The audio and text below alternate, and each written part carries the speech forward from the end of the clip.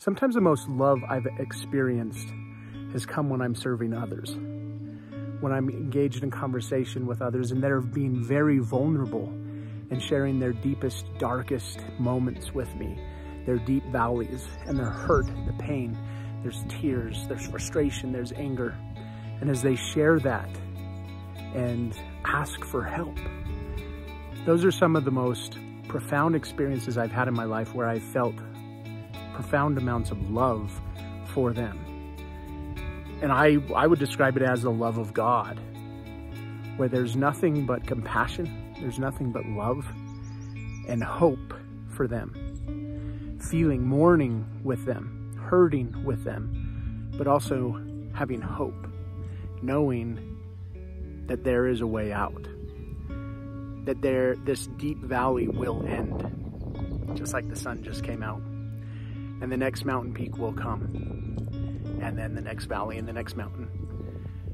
And so in service, that's sometimes where we can find the most uh, connection. And so if you're struggling today within yourself, I invite you to find someone that you can serve. Find a way to get outside of yourself to connect with another. Because as you help another person break through a limiting belief, move past a hurt, their breakthrough and growth is your breakthrough and growth because we are all in this together. We are all connected.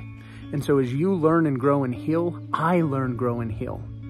Your benefit benefits me. Your hurt hurts me. We are all connected. And you matter. And so that's why I'm here at Hope to Cope every day with a message of hope. Because I know if I can inspire you today, if I can give you some hope, that not only benefits you, but it benefits me. It benefits all the world. And I truly believe that you are a miracle, that you have a purpose. And when we awaken to that reality, that each of us are miracles, that we each have a unique purpose, and we live in alignment with that, the world will be a better place. Because we are awake, we are living, we are living, not just asleep, living someone else's dreams or visions for us, but we are awake and living our unique lives. You are awake living your unique life. And so today I invite you to serve, to find a way to connect with others, to find a way to benefit yourself by serving others, finding that connection. Because sometimes we can't find that within ourselves as we're just struggling, we're struggling, we're struggling. But as we reach out and help others, when we do that, that can be the exact need. That can be the exact help that we are needing. I find that so often in counseling and in mentoring and classes and presentations that I do. Oftentimes I go into it, I'm like, ah, I don't really feel like it today. I'm struggling. But then I go into it and I have an experience where I needed that for myself. And so thank you for being you. Thank you for being here with me today. I see you.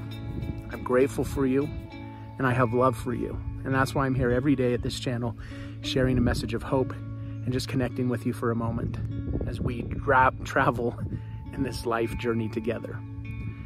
So thank you for being here with me today. Thank you for being you. And I look forward to seeing you again soon.